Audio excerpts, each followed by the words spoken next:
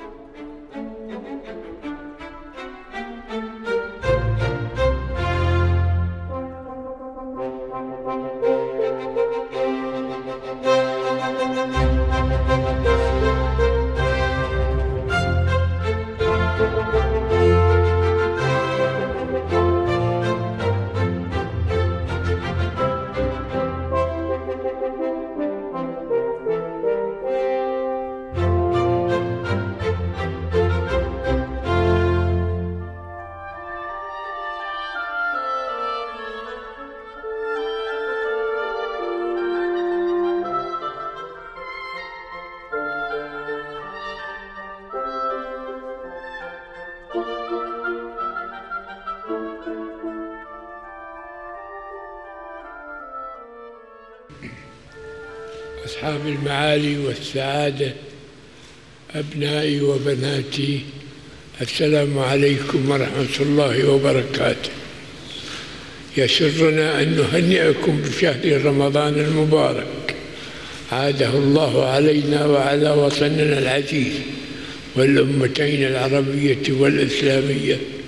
بوافر الخير واليمن والبركات. كما يسعدني وأخي سمو ولي العهد شيخ نواف الأحمد جابر الصباح وأخي معالي نائب رئيس الحرس الوطني شيخ مشعل أحمد جابر الصباح. مشاركتكم احتفال تطوير وتوسعة مقر ديوان وزارة الخارجية وافتتاح القاعة الكبرى متعددة الأغراض في الوزارة. ولا يسعني في هذه المناسبة السعيدة إلا أن أستذكر بالفخر والاعتزاز دور هذا الكيان السياسي العريق الذي كان ولا يزال أحد مراكز تخريج شخصيات متميزة من سفراء ورجال دولة وشهداء ضحوا بأنفسهم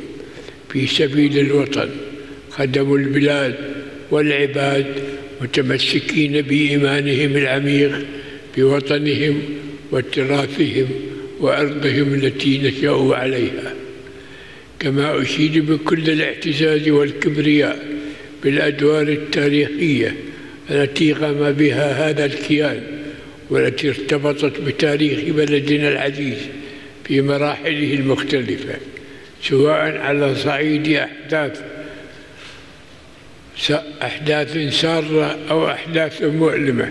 فكان دور الدبلوماسية الكويتية فيها ظاهرا ومؤثرا ارتكزت فيه على عقيدة أمن, أمن آمن, آمن بها أهلها منذ زمن بعيد بمد جسور السلام والتعاون بين دول وشعوب العالم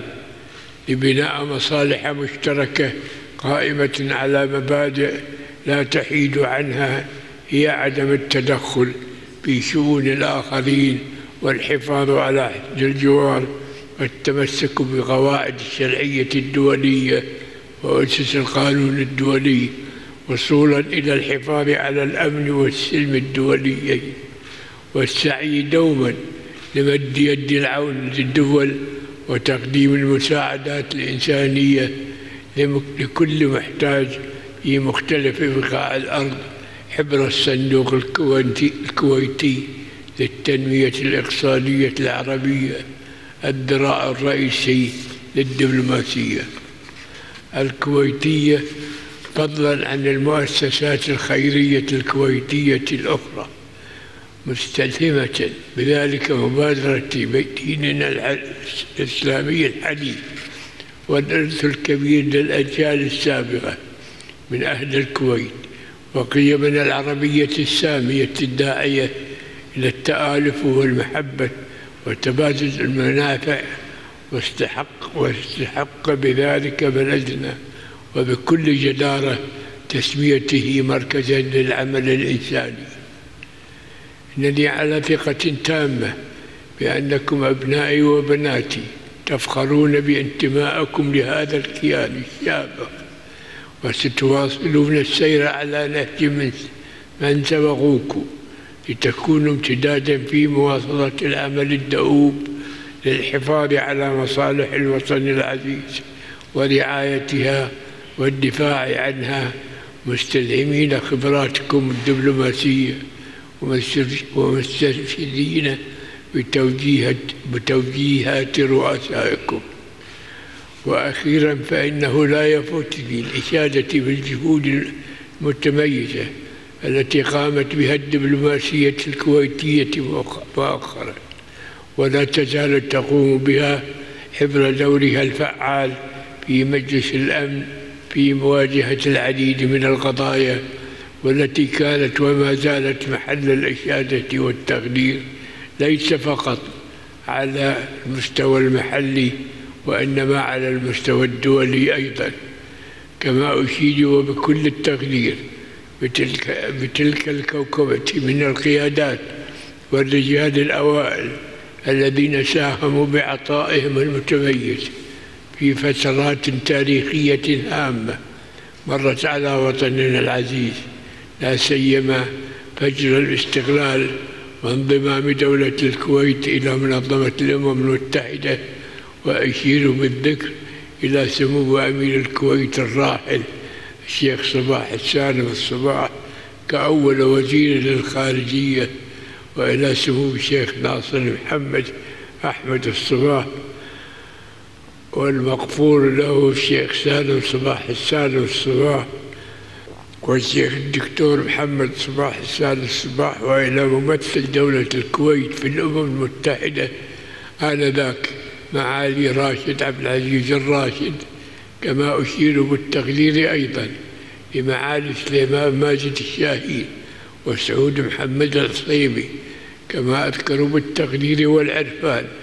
إخوة عملوا في أوقات وظروف تاريخية مشهودة هم أصحاب المعالي عبد الله يعقوب بشارة ومحمد عبد الله أبو الحسن والمغفور له بإذن الله تعالى